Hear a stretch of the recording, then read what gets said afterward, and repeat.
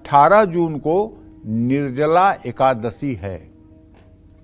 सारी एकादशियों में श्रेष्ठ निर्जला एकादशी है और बहुत कठोर व्रत होता है।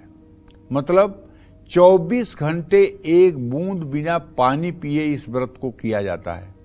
और ज्येष्ठ का महीना ग्रीष्म ऋतु आप खुद सोच सकते हैं कि जो लोग निर्जला एकादशी का व्रत करते हैं, वो लोग कितने तपस्वी होते हैं और कितने भगवत भक्त होते हैं, कितने भगवत पारायण होते हैं।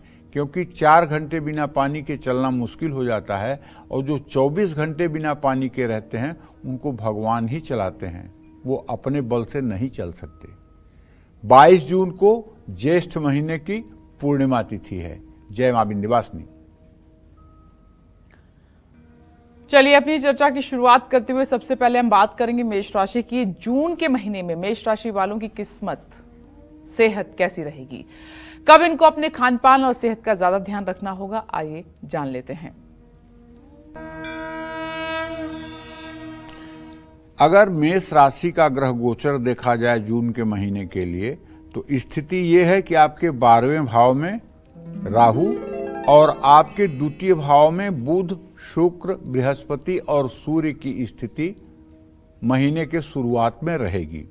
लग्नेश मंगल की स्थिति चूँकि लग्न में हो जाएगी, इसलिए मेष राशि वालों को सेहत का साथ मिलेगा। अर्थात बीमारियों से नहीं जूझना पड़ेगा। स्वास्थ्य अच्छा रहेगा, मन प्रसन्न रहेगा। और हाँ, एक बात तो कहना चाहता हूँ, ये एकादश भाव का शनि आपको पुरानी बीमारियों से राहत दिलाएगा। और खास करके यदि आपको स्पेंडिलाइटिस, सर्वाइकल की प्रॉब्लम है तो निश्चित मानिए कि छोटे से उपचार से भी आपको राहत मिलेगी। शनि नसों का रोग देता भी है और समाप्त भी करता है। शनि आपको पुराने रोगों से आराम दिलाएगा और शरीर में दवाएँ अगर असर नहीं कर रही थी तो वो भी करने लगेंगी। इस समय ग्रहों के प्रभाव के कारण आप अपनी सेहत को लेकर के जागरूक हो जाएँगे। मानसिक और शारीरिक रूप से स्वस्थ महसूस करेंगे। लेकिन एक बात कहना चाहूँगा कि राहु आपके व्यय भाव में है। अगर आपने अपना खान पान दूषित किया खास करके अगर आपने तामसी भोजन ज़्यादा करने की कोशिश किया तो स्वास्थ्य बिगड़ सकता है। तब ये मत कहिएगा पंडित जी ने कहा था कि जून का महीना तो बहुत अच्छा होगा, खराब क्यों हो गया। अगर आप तामसी भोजन करेंगे, अगर आप मांसाहार करेंगे, अगर आप ज़्यादा देर समय से बना हुआ भोजन करेंगे तो सेहत में गिरावट आएगी, राहु अपना प्रभाव दिखाएगा।